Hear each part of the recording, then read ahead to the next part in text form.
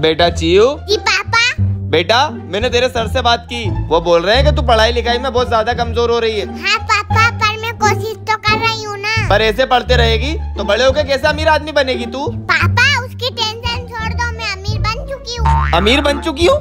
पर कैसे? पापा मैं ढेर सारा सोना इकट्ठा कर रही हूँ। सोना? कहाँ से ला रही है सोना? आपको देखना है। हाँ दिखा।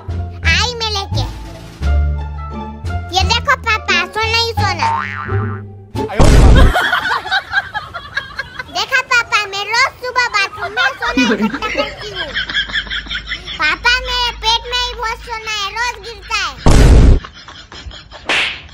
अबे, ये सोना नहीं है। ये लेंडे है, लेंडे।